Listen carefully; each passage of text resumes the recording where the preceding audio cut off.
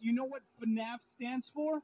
Huh? Uh, uh five Nights at uh, uh, Five Nights at Federal Prison. My uncle played that game.